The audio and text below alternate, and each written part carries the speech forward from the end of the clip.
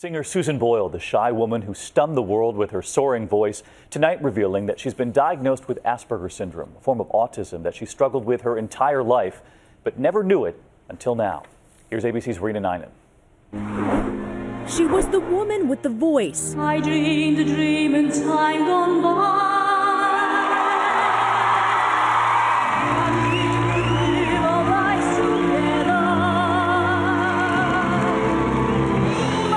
No one saw coming.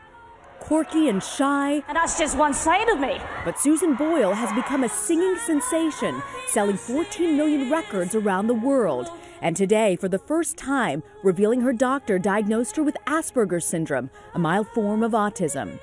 In an interview with the British magazine The Observer, Boyle says she was told as a child that she suffered brain damage when she did not receive enough oxygen at birth. But she always thought it was something more. Those suspicions now confirmed by the Asperger's diagnosis she received last year, saying, quote, now I have a clearer understanding of what's wrong, and I feel relieved and a bit more relaxed about myself. Somebody who does have Asperger's syndrome uh, likely has social awkwardness, uh, perhaps some quirkiness, um, social anxiety.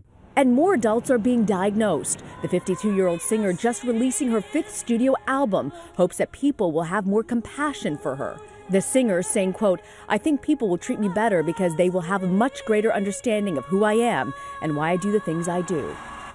And Susan Boyle is doing very well. There's buzz that Meryl Streep may play her, David, in a movie about her life. And now so much awareness because of her. Rena, thank you.